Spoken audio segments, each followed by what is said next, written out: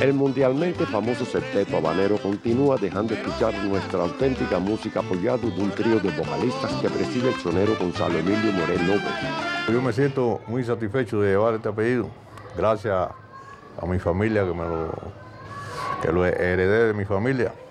Y muy contento porque este apellido lo, lo, llevó el bárbaro de ritmo, el máximo exponente de la, de la música popular cubana en todos los géneros.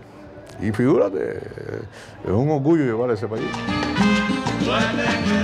En diversas etapas, el septeto habanero ha expresado composiciones que han ocupado espacios preferenciales en el gusto de quienes apuestan por la auténtica música cubana.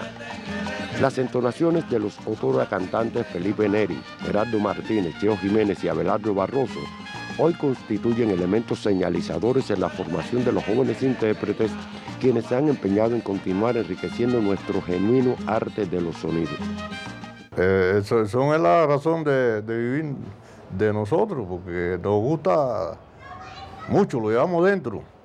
Y al interpretar yo el son, trato de hacerlo de una manera que se acerque a, la manera de que lo hacían, son mis cuatro preferidos son, que lo hacía Beni, Cuní, Abelardo Barroso y Kiko Mendivi, que le decían canillita. Para mí es lo máximo eso.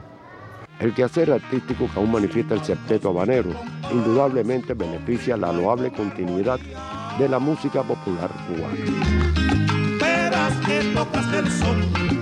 Virgilio de Agurfe, Sistema Informativo de la Televisión Cubana.